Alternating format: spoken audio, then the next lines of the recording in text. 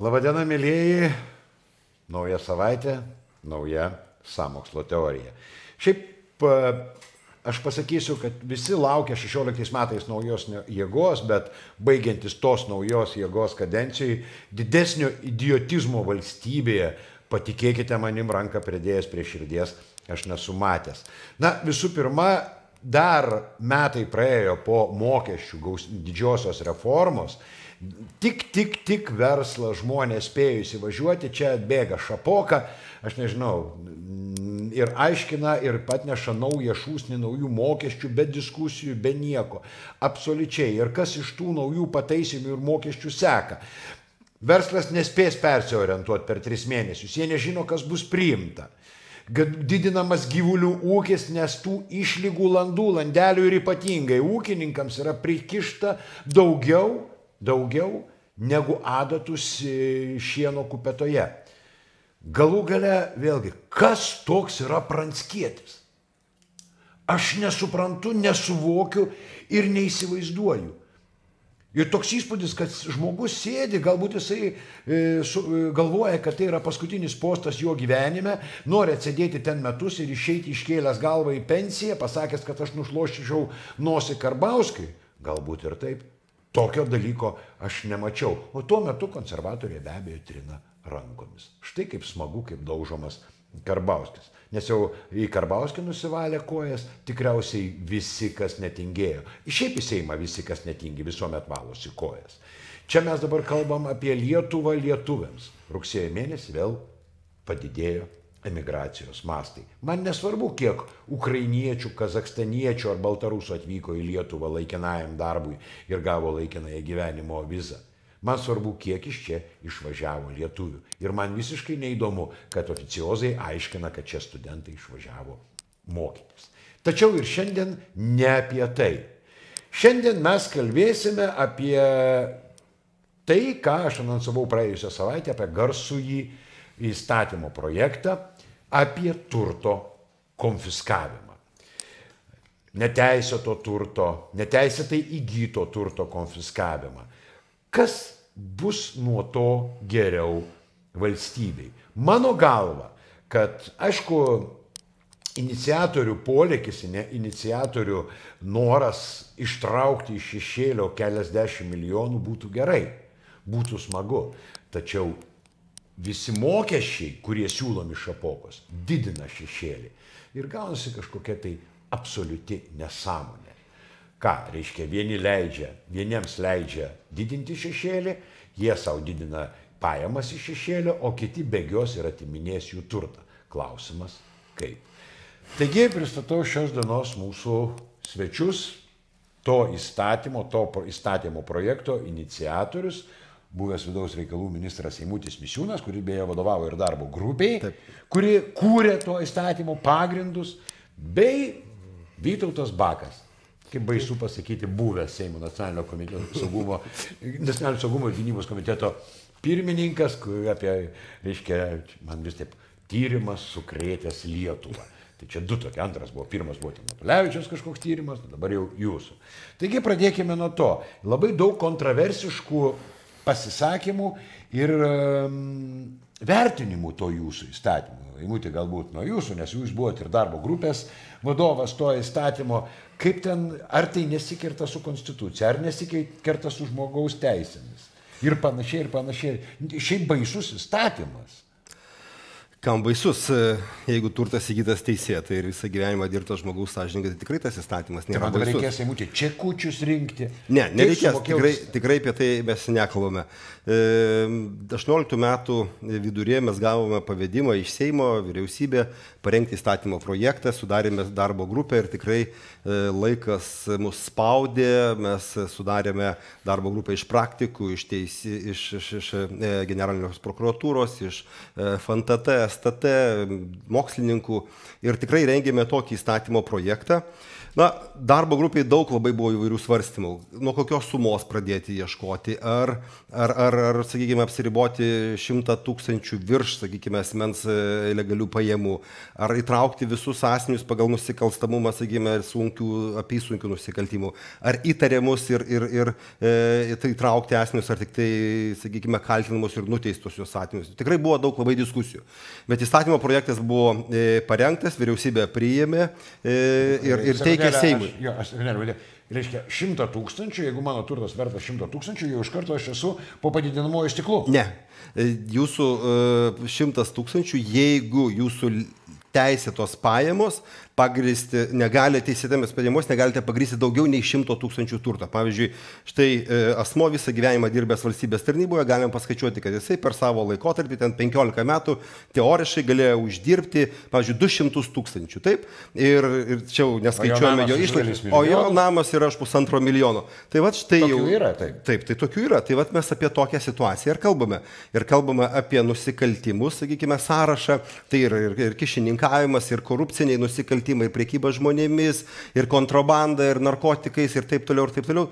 Tos nusikalstamos veikos, kurios yra tikrai pavojingos visuomeniai, kurios, kurios yra daromos ne tam, kad pasitenkinimą jausi, bet dėl materialinio pagrindo. Tai mes ir norime padaryti taip, kad daryti tas nusikalstamas veikas neapsimokėtų. Tai yra pagrindinė įstatymo idėja, kad valstybė turi turėti instrumentą saugantį visuomenės interesą Ir tas instrumentas nebūtinai turi būti baudžiamasis. Ne, puiku, tai gali būti. Ne, na, tarkim, aš buvau kontrabandininkas, pasidariau, pasistačiau namą, nusipirkau aštuonias vilas ir panašiai, ir panašiai, mano turtas keli milijonai, bet aš nesu pagautas kontrabandininkas. Tai vad didžiausia kritika ir yra, kad štai nu, prieštarauja nu, taip, taip, nekaltumo prezumcija, Konstitucijos 23 straipsnė, nusavybė neliečiama ir yra atseit prieštaravimas. Mes šiuo atveju įstatymu nenorime įrodyti asmens kalties. Nėra tikslo įrodyti, kad asmo yra kaltas, padaręs e, kažkokį tai nusikaltimą. Čia yra vadovaujamasi e, gyvenimo logika, sudaromos prezumcijos, kad žmogus teisėtai tokio turto įgyti negalėjo. Bet kaip? Ir žiūrėkite, žmogaus, Europos žmogaus teisi, e, teisų teismas jau yra suformavęs daug bylose praktikos, kad taip gali būti. Nebūtinai reikia nuteisti asmenį, kad pasakytume, kad tas turtas įgytas neteisėtai. Gali būti sudaromos prezumcijos, teismui pateiktas, e, pateikta pakankamai duomenų, kad teismas pasakytų, taip, tas turtas negalėjo būti įgytas iš teisėtų okay, šaltinių. Tai ir tvarkoje, bet jis Teismas nustatė, kad negalėjo būti įgytas iš Taip. teisėtų šaltinių, bet kriminalinis nusikaltimas neįrodytas. Ką jam reikia dabar Žiūrėkit, daryti? Jūs dabar mes... ateinate, pagal jūsų įstatymą ateina e, policininkai ir atima turtą? Paklausykit mes niekaip nesirašame su baudžiamąją teisė, mes niekaip nesirašame, nesirašame su e, nusikaltimu, mes niekaip ne, nebandome įrodyti, kad asmo kaltas ar nekaltas. Tai nėra apie tai kalbos. Tie, kurie sako, kad tas įstatymas prieštarauja e, ir, ir nekaltumo prezumcijai, tai aš noriu tik tai pasakyti, Europos žmogaus teisų teismas pasakė, kad e, tokio pobūdžio įstatymai gali būti valstybėje kaip priemonė užtikrinti visuomenės saugumą ir gali būti civilinis procesas ir gali įrodinėjimo našta būti uždėta būtent atsakovui. Ir Ir Europos žmogaus, Europos žmogaus teisės, taip yra bylų numerį, aš tikrai turiu užsirašęs, galiu pasakyti, pacituoti. Ir yra tai pasakęs. Ir kas yra esminis, sakykime, skirtumas tarp, e, tarp baudžiamosios teisės ir šiuo atveju mūsų e, turto civilinio konfiskavimo, tai kad Taip, yra baudžiamojimo kodekse 189 straipsnis prim, kuris yra skamba e, neteisėtas praturtėjimas, bet ten reikia įrodyti, kad tas muo suprato, suvokė tyčia, kad tas turtas yra gautas nusikalstamų būdų ir taip toliau.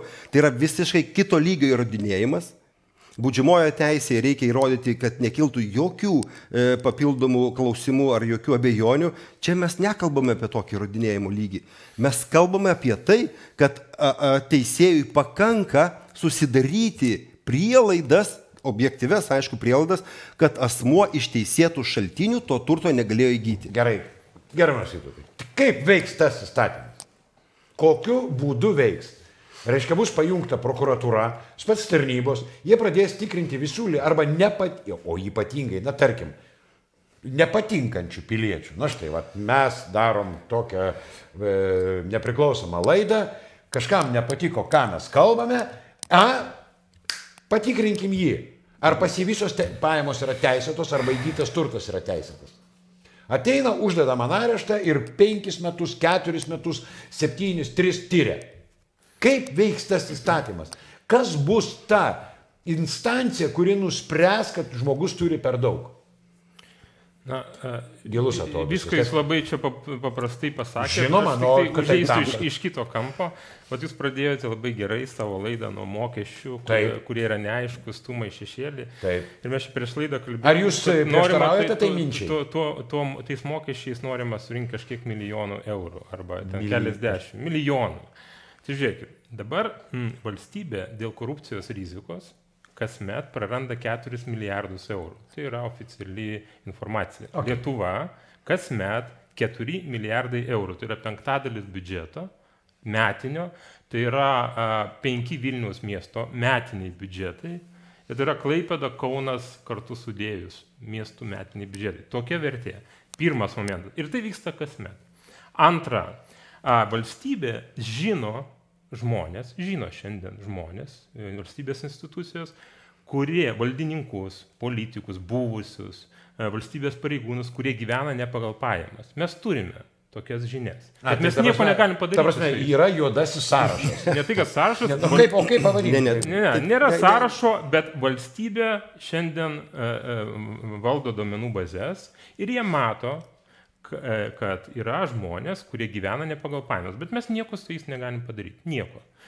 E, Mes taip pat nieko negalime padaryti su tais, kuriuos netgi teisės sauga sulaiko, išaiškina nusikaltimą, įmančius kyšius. Mhm. No, Nes okei. procesai ilgi, Taip, taip. A, yra korupcijos ir teismuose prokurorai galbūt ne visada drįsta pradėti Jie, prie jie pinigų turi daugiau negu jūs, mes jie pasisamdo gerus advokatus.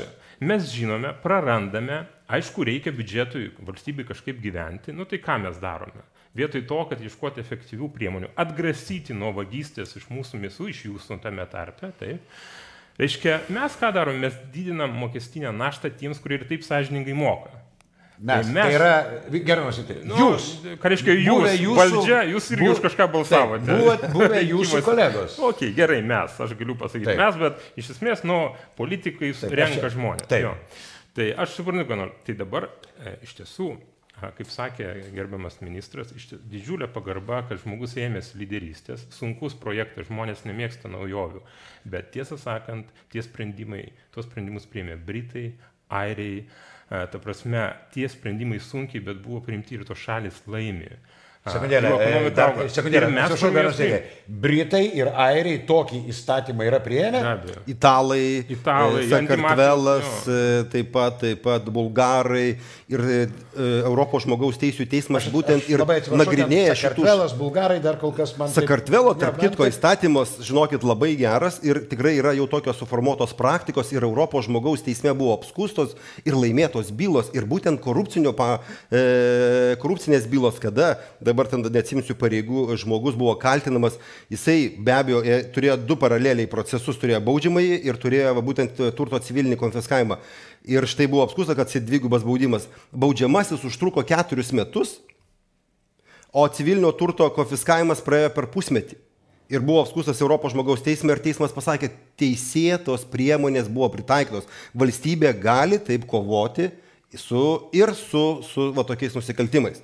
Ir tai yra vat, suformuota praktika ir tenais išanalizavus, tenais yra ir parašyta, kaip, dėl ko, kokios priemonės gali būti ir kad kaip turėtų šiuo atveju e, ši nauja kategorija, sakykim, turto civilinis konfiskavimas, dėrėti su baudžiamąją teisę, su mokestinė teisė. Jo, bet mes galim nepatinka Sakartvelas, mes prisimink, Britai. Tony Blairas buvo tas politikas, kuris e, iškėlė tą idėją e, aukščiausių politinių lygių. Šiandien Britai turi tokį įstatymą. Jisai padeda kovoti ir su pinigų plovimu, padeda kovoti e, e, su organizuotu nusikalstamu, su politinė korupcija. Šiandien, sutikite, Junktinė karalystė yra vienas skaidriausių šalių Europoje pagal skaidrumo indeksą. Airija, kuri eina septynmyliais žingsniais, nu, turi panašią istoriją kaip Lietuva. Pas ją antikorupcinė politika eina, tarpsime, ten eina labai rimti sprendimai. Italija, kuri negalėjo išsivaduoti nuo mafijos, šitas įstatymas jai padėjo suvaldyti mafijos siautėjimą. Nes kaip sakė ministras, Nu, taikinys. mafijos nėra. Nu, nu atvirai, bet e, organizuoto nusikalstamumui jis taip pat bus taikomas. Pavyzdžiui, mes turime kontrabandos bylų, mes Daug. turime jo daug ir prekybos narkotikais, ginklais, žmonėmis. Juk e, nusikaltėliai, organizuotas nusikalstumas, korupcija, tai yra visų pirma taikinys yra turtas. Žmonės nori nelegaliai, neteisėtai, vykdami, prasme, e, išnaudodami valstybės silpnybės, užsidirbti. Tai mes ir sakome, Tvarkoj, taikiniu reikia padaryti neteisėtai įgytą turtą. Tokiu atveju pavyks atgrasyti nuo, nuo nusikaltimų. Galiu aš dar keletą minučių e, eterio. Jūs tad pasakėt, vat, kaip man užtikrinti, kad e, dėl kažko tai nepersikios manęs pareigūnai ir Taip. taip toliau. Aš galiu paklausti, o ką šiandien nėra galimybių jums, pavyzdžiui, pakengti, jeigu būtų nesažiningas ar, ar nedoras pareigūnas, prokuroras, sakykime, te- teisėjas ar, ar, ar policininkas? Yra. Čia šito Ne, mūsų naujo tvarkoje, bet įstatymo klausiu, projekto. Ar yra sudėti saugikliai, kad taip, Taip, nebūtų? taip yra, vat, e, ką aš galiu Ar pasakyti. man reikės, ar tarkim, aš jau čia įimu asmeniškai, Taip. ar man reikės vėl įrodinėti, kad iš tiesų taip nėra? Žiūrėkite, persekio, mane persekioja ne dėl to, kad aš buvęs kontrabandistas ar prekeivis žmonėmis, tai žinokit, o va, tokį- nepatogus žmogus. Tokį klausimą galima kelti žiūrint ir į kitas nusikalstamas veikas. Nu, pavyzdžiui, o kas šiai dienai, pavyzdžiui, vat, jūsų įmoniai trukdo, pavyzdžiui, pasižiūrėti mokestinę kažkokias tvarkas, dar kitom įstaigom pažiūrėti. Jeigu mes kalbam apie tai, aš tai sakyčiau, šitas šio pokalbio dalis tikrai yra nu, ne- nelabai na, graži iš principo arba Taip, jos žeminanti, yra- žeminanti tokias įstaigas ir nemanau, kad taip yra Lietuvoje, nes yra teisinė valstybė, yra konstitucija, yra prokurorai, yra teismai ir tai tikrai e, tokios institucijos, kurios turi ir apgi, gali apginti žmogaus teisės. Tai tokiu, konst, e, tokiu e, aspektu nukalbėti kažkaip nelabai gražu net šitam įstatymui, nes ir dabar šiai dienai bet ką galima prigalvoti ir pasakyti, kad va, mane persekios ir padarys.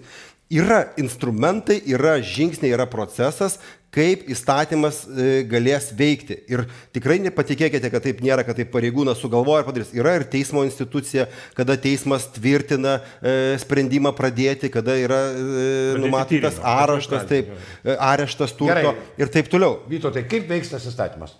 Abu du papasakot. Kaip, tarkim, hipotetiškai, priimam įstatymą apie civilinį turto konfiskavimą. Taip. Taip. Priimam, nubalsuojam ir dabar ką? Prokurorai paleidžiami nuo grandinių pagal Palauk, nereikia įžangos. Tokios įžangos nereikia, Gerai, nereikia. gerai. Prokurorai ten ar policininkai kriminalinė žvalgyba paleidžiami nuo grandinių pagal kiekvienas turi Vytauto minėtą į juodąjį sąrašą. Ne, ne, ne. Jūs labai suvulgarinot, kaip Žinoma, sakoma, ne, visiškai.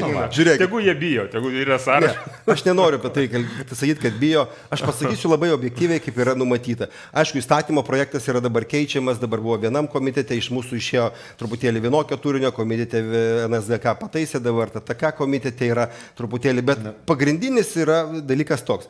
Yra įstaigos, sakykime, tai gali būti FNTT, mokesčių inspekcija, e, policijos galbūt, kurios surinkusios informaciją, kuri leidžia pagristai manyti, kad gal asmo valdo e, neteisėtai gytą turtą, ateina pas prokurorą. e, Su tokia informacija prokuroras sankcionuoja, pradeda e, turto tyrimą. Turto tyrimas atliekamas vėlgi pasitelkus, ką Vitautas minėjo, įvairias duomenų bazės, tai ir nekilnojamo turto, registrus ir taip toliau, ir taip toliau, surenka. Nu, kiek yra turto, mes jį galime lengvai surasti. Taip, Ar jisai vienokiu kitokiu vardu, čia yra kitas klausimas. Toliau ateina toliau prokuroras, kreipiasi į teismą dėl e, turto civilinio konfiskavimo proceso pradžios. Pradžios, taip. Ta- Teismas Teikimas, duoda, taip. automatiškai duoda sankciją. Nu, ne automatiškai teismas niekada automatiškai ne- neduodavo, aš buvau teisėjas, tikrai Nu, gilindavęs Tai prisiminkime viską. teisėją Šiaulių kalainį, kuris Nu. pusę Lietuvos pakišo po pasiklausimo aparatūrą. Numatyta galimybė skūsti tokį sprendimą. Beje, komitetas. Yra numatyta, pataisė, jo. taip pat tada yra numatyta, kad asmo geranoriškai pats e, deklaruoja savo turtą, o jeigu jau ten, sakykime, nu nėra ką deklaruoti, vat, oficialiai esi gali uždirbti 200 tūkstančių, valdai ten už pusantro milijonų, tu niekai nedeklaruosi, ten, kad pridaviau butelius, vat, visą gyvenimą geriau, dabar štai galiu jau, jau, jau tokias Nu, pajamas. žinot, Ir tada prasideda ieškinys teisme, atstovauja prokuroras, jie atsakovas yra tas asmo ir viskas. Yra pakankamai objektivus teisiniai valstybei sureguliuotas procesas. Nuo kada bus tikrinamas įgytas turtas? E, Siūloma pagal dabartinį projektą e, 10 metų. Sekundėlę, ar galima paklausti, kiek kiek tame juodame sąraše galimai, galimai yra žmonių. Žiūrėk, Aišku, aš suprantu, kad reikia skambios antraštės jūsų šitam. Ne, tai aš tikiuosi, visuomenė bus, bus gera antraštė, jūs jau sugalvojate. Taip, bet tai kiek? Bet žiūrėkit, iš tikrųjų aš norėjau Vytautai, pasakyti. jūs neatsakėte į klausimą, aš Aš labai tai atsakysiu. Aš tai atsakysiu. tvarkoje, prašau. E, Valstybė šiandien valdo maždaug e, daugiau nei 20 įvairių duomenų bazių, teisės sauga, ta prasme, arba e, su mokesčio administravimu susijusios institucijos. Jeigu jas pažiūrėti globaliai, iš esmės yra visos techninės priemonės atsekti, pavyzdžiui, nustatyti, kokie valdininkai, politikai, ten gal verslininkai, kažkokie ne, įmonių vadovai gyvena ne pagal pajamas. Viskas paprasta mato, kaip sakė ministras, kiek žmogus per dešimt metų, būdamas valstybės įmonės vadovu, uždirbo ir kiek jisai turi turto arba jo artimi žmonės. Vaikai, Aplinka. reiškia, Tetos, dėdės, Jo, pusės jo, ir nes yra nurašoma. Tas įstatymas, tiesą sakant, leidžia daryti tyrimus ir a, artimų žmonių atžvilgių, jeigu yra duomenų, kad galėjo būti perleistas. Tai kitaip tariant, a, aš jau įvardinau skaičius. Dėl korupcijos rizikos mes kasmet netenkam 4 milijardų. A, Vilytė, ponia, a, kada... Čia buvo- korupcijos rizika viešųjų pirkimų tarnyboje. Dėl per viešuosius Apskritai, pirkimus. apskritai, Taip. dėl korupcijos. Šešėlis rizikos, yra kiek? 25 procentai. 22 procentai tai yra 10 milijardų. 10 tai yra milijardų, tiek, 14 tiek milijardų. BVP sukasi ir yra nu, nemokami mokesčiai. Ne? Dabar vien, jeigu eiti visai prie kūno, e, e, kiek komitete e, liudijo ponia Vilytė, buvusi vadovė, ji pasakė, kad vien viešuosiuose pirkimuose maždaug iki 40 procentų sandorių yra neskaidrus. Išversiu tai skaičius. Bendra suma, išleidžia, kiek išleidžia valstybė, yra beveik 4 milijardai eurų. 40 procentų jos teigimu, aš čia kalbu apie ekspertų vertinimą, yra 1,6 neskaidrūs. milijardo, taip. Tasme, tai yra Nuplaukia. kosmosas, tai yra mūsų visų uždirbti pinigai, bet mes jų išleisti negalime, Tai nes ne, juos pasiema. Viskas puiku. Vilytė keuktelėjo, jūs visi paklausėte ir vis tiek metai iš metų tenai niekas nedaroma. Tai Nepatinka jūs, netvar, jūs netvarkote Vilytės tarnybos, o jūs bandote... Vilytė tai puikiai dirbo kaip tarnyba. Labai abejočiau. E, tarkim, galėjo, tiek žmogus darė. Sakykite, prašau, tai dabar, priim, tarkim, vėl, hipotetiškai, priima tą įstatymą, taip kaip jūs paruošėt, idėja ir mintis yra galbūt graži ir vėlgi prieinama. Pirmą gauna juodą į sąrašą. Šitos reikia patikrinti ir jų visas šeimos narius. Gal tas šeimos narys net nežino, kad jis ten tą turi. Tiesiog yra neužrašyta. Ir nuo 2009 metų, jeigu jis bus priimtas šiemet, jeigu priimtas kitais metais, tai nuo, nuo 2010 metų reiškia visos Respublikos gyventojų, kurie turi turto daugiau negu už 100 tūkstančių, Ne, ne, e, reiškia viskas bus tikrinama. Jeigu, na gerai, tarkim, kokio ten kont, buvusio kontrabandisto arba įtariamo kontrabandą, tai dar reikia pateikti tarimus. Kokiu pagrindu, vėlgi pradėti tą tyrimą, tas apskundimas. Na, Tai mano galva, aš nelabai noriu sutikti su ne, profesoriumi Nekrošim, bet jisai tam tikrų irgi gerų minčių išsakė tenai. Taip. Taip, Ar žinot, tai, jūs- tarkim, nebus ir vėzdas? Ne. Mes jau gyvenome slaptųjų pažymų e, visuomenėje dešimt metų. Ga- Galima aš sureaguosiu? Žiūrėkit, čia Sureaguokit. kaip tik yra alternatyva slaptom pažymom. Nereikės nieko sekti, nieko pasiklausyti. Tiesiog, jeigu žmogaus skaičiai nesutampa, nu tokia maža suma kaip 100 tūkstančių eurų, nu tokia nedidelė visai, ne? Reiškia, jeigu pajamos ir turtas nesutampa, jis tiesiog turės civilizuotai galimybę pagrysti to turto kilmę. Tai yra normali praktika. Tarsi, jeigu žmogus... Bet jeigu aš nepadariau jokio nusikaltimo, nieko nepadariau, nesu neįtariamasis, nebuvo jokio tyrimo ir staiga ateina institucija ir man sako, bičias, duok popieriukus. Žiūrėkit, du yra Ne, aš, niuansai. e, bet tai gali būti. Žiūrėkit, taip? ne. Jūs labai gerai sakote, jeigu jūs nieko nepadarėte, vat, sąžininkai, aš gyvenime irgi nieko nepadariau. Tikrai pažeidimų keletą buvo, automobilį gal ne vietoje buvau pastatęs ir taip toliau, bet nusikalstamos veiklos niekada nepadariau, nekalbam apie kontrabandą. Dėl to aš, to įstatymo aš niekaip nebijau. Nes tai, nu, apskritai, visiškai jisai bus įstatymas, kuris reguliuos tam tikrą sritį, bet tai niekai nesusijęs, pavyzdžiui, su manim. Bet jeigu toks asmo, nu, va, yra garsusis kontrabandos karalius, ne vadinamas. Jo. Nu, aš nežinau, Ir pavardė, vardu aš net nesakau. jūs iš Suprant, karto pavardę. jo, jo yra aplinka. Ir mes žiūrėjome, nesenai prieš gal metus buvo e, sunaus rodomas namas. Taip. Teisininkas nesenai baigęs, gal 20 kelių metų namas apie pusantro milijono vertės. Nu, vat, ir dabar pasakykit, ar valstybė šitoje situacijoje turi būti bedantė, kada mes visi žinom, žmogus turi pra, pravardę, turi de, dešimtis bylų įvairių. Ir štai vat, tie visi instrumentai, kurie šiai dienai yra priimti valstybės, turiu minį baudžiamoją atsakomybę, tenais e, baudžiamajame kodekse numatytas išplėstinis turto konfiskavimas, visa kita, neveikia pakankamai gerai. Valstybė neturi pakankamų instrumentų, kad štai užkardinti ir preventyviai veikti va tokius asmenys. Tai aš kaip suprantu, tas įstatymas veiks ir atbulinė data? Taip. Taip. Taip.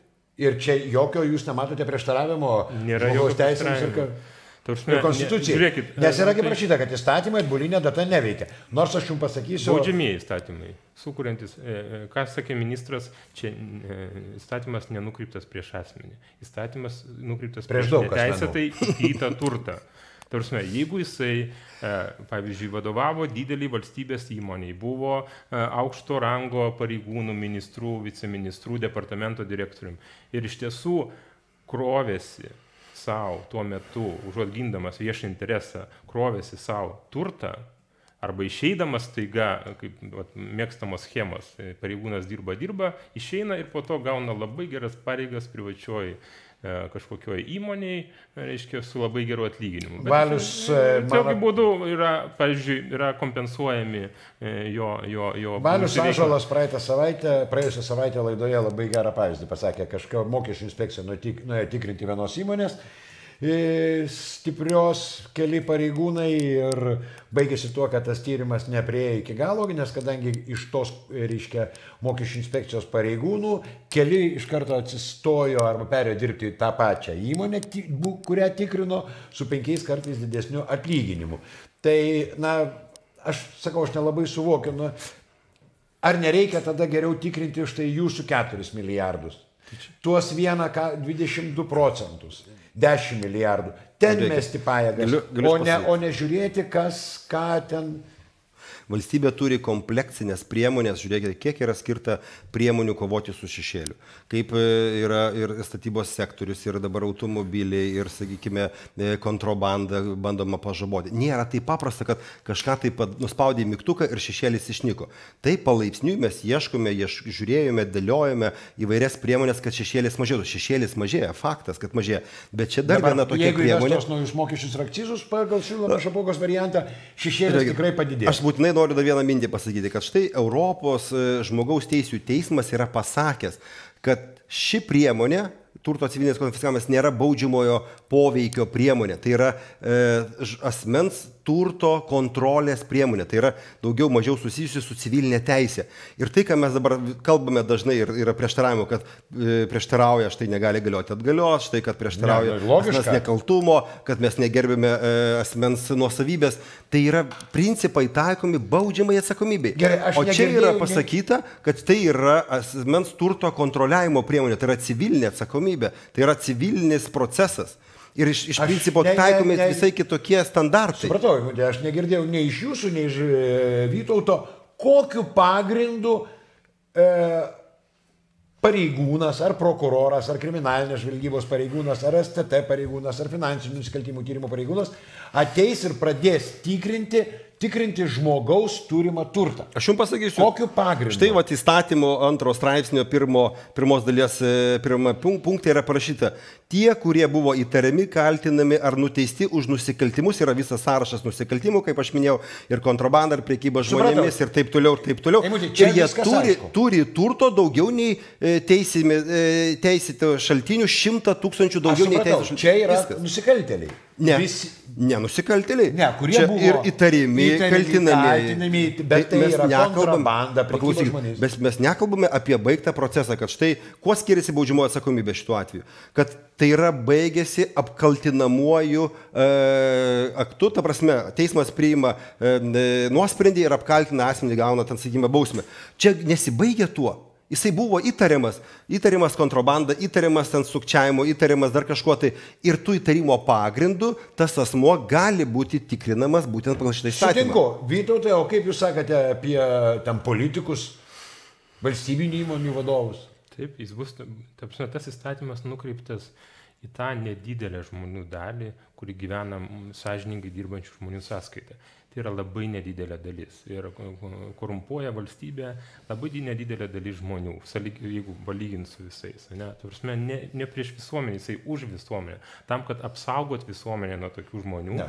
Nes korupcija, jeigu korumpuotas yra, pavyzdžiui, koks nors, nežinau, pareigūnas ten, kokios nors inspekcijos, ne? Arba tai yra, tai yra jis vienokią žalą daro, tvarko reikalus, bet jeigu yra korumpuotas aukščiausio lygio politikas, kuris priiminėja sprendimus, kurių, kurių vertė gali būti šimtai milijonų eurų, ne, kuris dirba, atsako už viešuosius pirkimus. Pavardę, tai, kokią galit pasakyti? Tai, a, bet ne, tavars, nesakykit, nes iš karto ap, apkaltins, jūs mintise turit aukščiausio lygio politikų pavardę, mintise, čia nesakykit. Turit, kurie, kuriuos galėtumėt štai apkaltinti?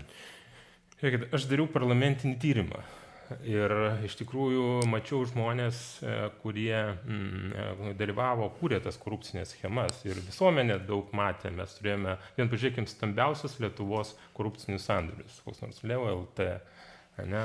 Independence. Jo, tai, tai. Laivas, aš turiu menį. Tai, kitaip tariant, ko gero, dešimt metų, kadangi tas įstatymas galios dešimt metų atgal, Ir kadangi tie žmonės, ta nedidelė žmonių dalis puikiai supranta, kuo tai gali baigtis, tiesiog pas juos netirs, kaip jūs sakėte, turto, pas juos tiesiog paklaus, iš kur pagryskite savo turto kilmę. Viskas bus užduotas vienas, jeigu taip apibendrinant klausimą. Tai iš tiesų ta nedidelė įtakingų žmonių dalis, be abejo, per kai kurias verslo organizacijas, kai kurias asociacijas, daro dabar didžiulį lobistinį įdirbį, kad Lietuva tokio įstatymo neturėtų. Kad mes toliau galėtume taip gyventi, kaip gyvenam dabar, pakankamai įstrigę toje korupcijos rizikoje, keletą metų esame įstrigę, penkis metus nesikeičia situacija, šiaip penki, keturi metai. Ir kad tiesiog tie žmonės galėtų, na, šitą kartą kurį dalis žmonių pelnėsi mūsų sąskaitoje, visų galėtų išvengti atsakomybės. Dabar vyksta didžiulė lobistinė Paiskia, kampanija. Aš, aš matau ir teisininkus, kai kurius, tai yra advokatus, kurie atstovauja stambius, aptarnauja koncernus, matau jų įrašus. Tai yra jų normalų darbas. Jie gina savo klientą dar iki tol, kol pasirodys kažkoks įstatymas. Bet aš vis tiek ne, kol kas nesuvokiu, kaip jis įveiks. Galite labai paprastai paaiškinti. Priimtas įstatymas. Ir Labai paprastai, e, kaip ir, sakė, e, kaip ir sakė ministras, iš tiesų, jeigu bus požymiai, kad žmogus turi, valdo didelės vertės turtą ir jo pajamos e, nėra tokios, pagal kurias jis galėjo įsigyti, pareigūnas, kuriam bus pavesta, institucija, vyriausybė turės apsispręsti, ar tai STT, ar tai FNTT, čia, prasme, politinio sprendimo klausimas. Jis a, eis pas prokurorą ir prašys sankcionuoti turto tyrimą. Prokuroras eis pas teisėją ir teisėjas priims sprendimą. Tada prasideda turto tyrimas. Ta prasme, e, per tą laiką asmuo visada gali pateikti paaiškinimus. Gal jam iš tikrųjų, gal, gal jis kažkur užsidirbo, gal kažkokį palaikymą gavo. Nu, jam, jam Dievas tai, atsintė karvelį. Gal Dievas atsintė karvelį. Nu, tai, prasme, bet nu, turės būti pateikti normalūs paaiškinimai. Ne taip, kad, kaip yra dabar, pavyzdžiui, teismuose. Koks karalius sako, žinot, aš įsigijau tą turtą iki tol, kol įsigalioja įstatymas ir jūs manęs nelieskit. Viskas, mes esame neįgalus kaip valstybė kažką padaryti, nors visi puikiai suprantam. Tasme, tai tokių dalykų yra ir, e, ir teis, e, mes turime duomenų sistemas, kur mokesčių inspekcija labai nesunkiai, ir čia yra visiškai legalu, gali pamatyti, kur yra dideli netitikimai, pabrėžiu, stambus netitikimai tarp pajamų ir turto. Ir visada gali tos klausimus užduoti. Tvarkoje, bet tai ką, o ką jūs darysite? Na, tarkim, vėlgi hipotetiškai kažkokį sulai, bet jūs neatsakėte, jūs turite uh, mintise pavardę, ten aukščiausio lygio. Aš net negaliu savo leisti minties tokios turėti pavardės, nes aš nesu tas, nedirbu nei vienoje specialioje tarnyboje, kad galėčiau matyti vaizdą. Aš jūs... tik matau žmonės, kurie iš tikrųjų dalyvavo stambiuose korupcinėse schemose, sudrebinusią Lietuvą ir šiandien, ne, na, kuriems nebuvo pritaikyta jokia atsakomybė, nei teisinė, nei politinė, nei moralinė. Taip, kadangi nebuvo įstatyminės bazės, bet tarkim, na. Ir manau, kurie vengia masiškai. Aš, pavyzdžiui, matau, ką mes galiu pasakyti, ką matau. Va. Aš matau 40, berots mane pataisys įmutis, E, mano žiniomis dėl e, nepagrysto praturtėjimo nuo 10 metų buvo pradėta apie 40 procesų, gal net daugiau. Kiek jų baigė? Didelių procesų. Kiek, kiek, kiek jie baigė? Nulis. Nulis. Va. Nei vieno. 40 procesų.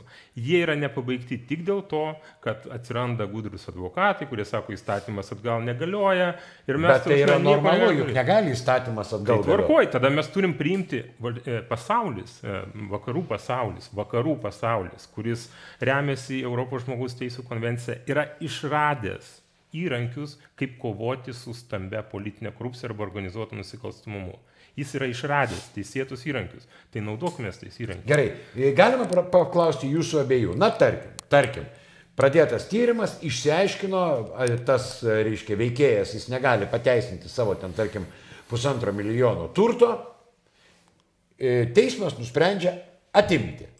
Taip. O kiek jam palikti? Šimtą tūkstančių? Ne, nu tai yra nustatyta dalis, kuri galbūt e, turėtų būti įgyta teisėtai.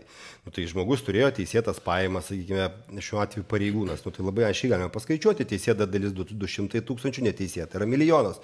Tai va štai prašau tada tą teisėtą palikti. Reikia, aišku, čia jau jūs klausėt, kaip reikėtų įgyvendinti. Taip, tai čia, taip, tai yra. Čia, labai... man, čia vėlgi labai daug procesas reikalaujantis, o... daug iš, e, išradingumo. Ar, ar tada tenais geriau būtų kažkaip tai susitaikymą daryti, ar ten, sakykime, konfiskuoti, parduoti, išvaržyti, nes čia jau, suprantat, daug diskusijų kelia klausimas. Jūs praktiškai ruoždami tą įstatymą, jūs abu du, ar jūs tikrinot, kiek žmonių gali patekti po, reiškia, tuo neteisėtų praturtėjimu ir kur jūs dėsite visą tą konfis... Nes man tai labai primena, žinot, Bulgakovo Šarikovą.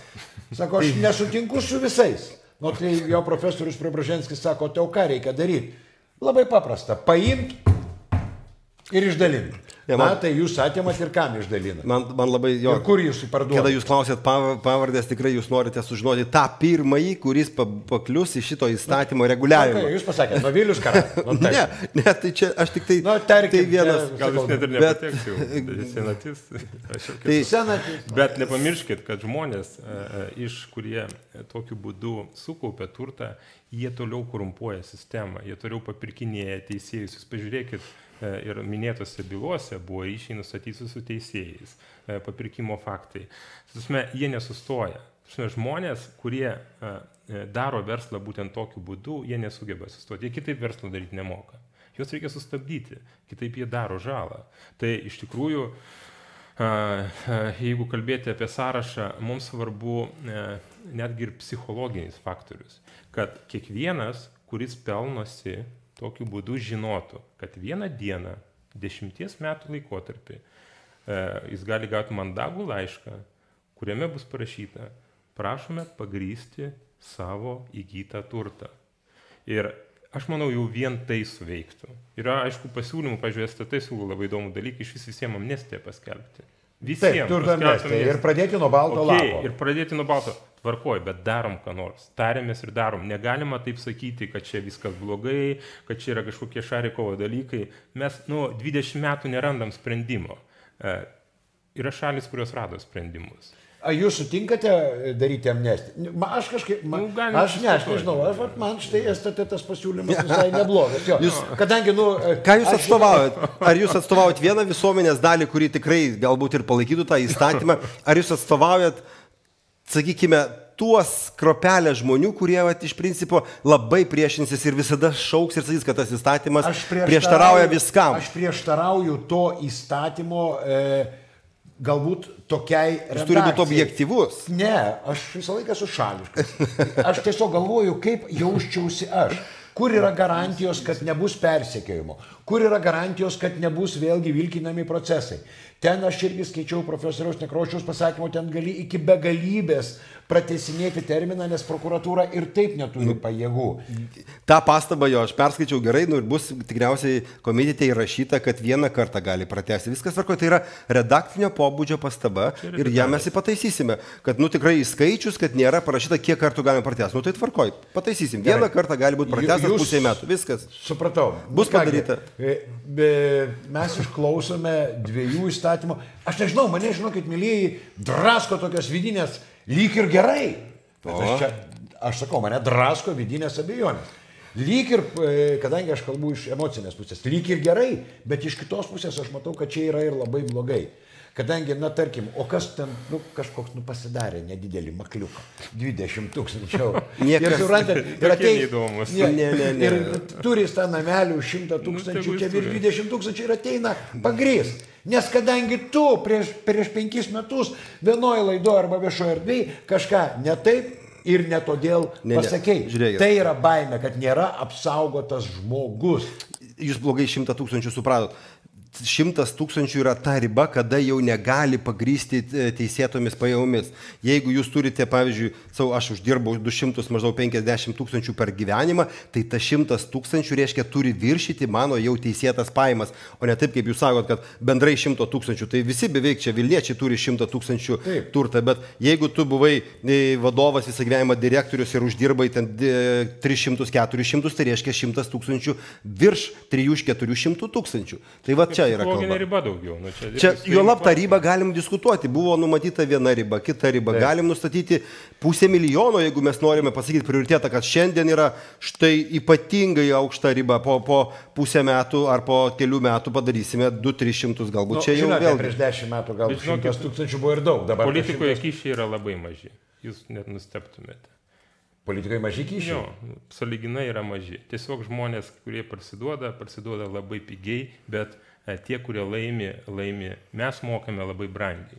Visi, kurie pralaimime. Nu, aš galvoju, kad tiek to. Kad ten- na, Dar padiskutuosim apie tą įstatymą ir kaip galima apsaugoti žmogų. Čia mūsų ilgamečio draugo metalo formos tokios nedideli ženkliukai. Čia dar kažkoks šimtas, o tai čia bus turėsim. skorpionas. Ačiū Būtent Jums. nuo samokslo Tai teorijos. gero jums sezono. Jo, Jo, ką tik pradėjom, tai aš jum, e, mėlyjeji, baigiamajam žodį pasakysiu, nežinau, štai sakau, yra duali situacija. Nelabai aš tikiu. Na, ne ten eina ieškoti. Va 4 milijardai, va 10 milijardų. Tai Štai ten reikia ieškoti, o ne tai, kas buvo kažkiek, kur. Taip yra apmaudu. Veikia ir manėtos Šarikovo principas paimti ir padalinti. Bet kur dėt? Kaip?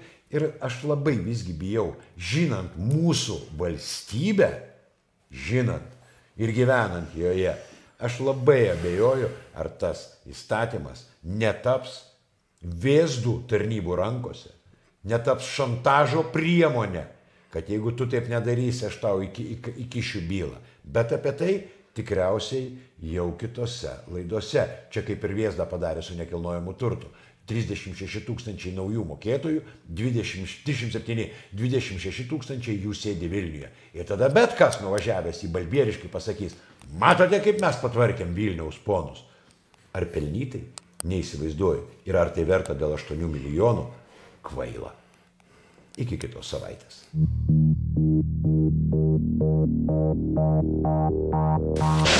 Thank